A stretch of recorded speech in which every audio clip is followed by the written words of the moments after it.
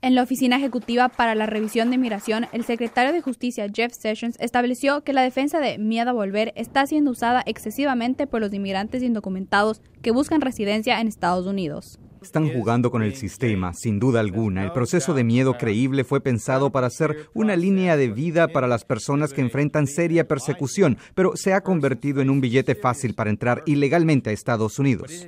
La ley de nacionalidad de inmigrantes permite que las personas reciban asilo político si testifican tener miedo de volver a su país de origen.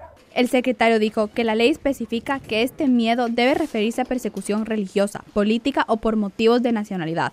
El miedo al crimen organizado, venganzas personales o violencia general en un país no deberían ser incluidos en la definición. Pero Jorge Escobar, director de Servicios Legales de Casa, dijo que las declaraciones del secretario son un ataque a la comunidad de inmigrantes. Esta es una retórica que ha repetido el señor varios, en varios instantes. Eh, la verdad eh, es una... Eh, esto lo vemos más como un ataque a nuestra comunidad que un... Que una, eh, que un reflejo de la verdad, porque honestamente el sistema de asilo en este país es sumamente complicado y hay muy poca gente que en realidad se, se aprovecha de él. Escobar añadió que al llegar al país los inmigrantes son entrevistados ampliamente sobre sus razones de cruzar la frontera y que la administración actual lo que realmente quiere es terminar con un sistema migratorio que es humanitario y busca reunificar familias. Irene Serrano, Voz de América, Washington.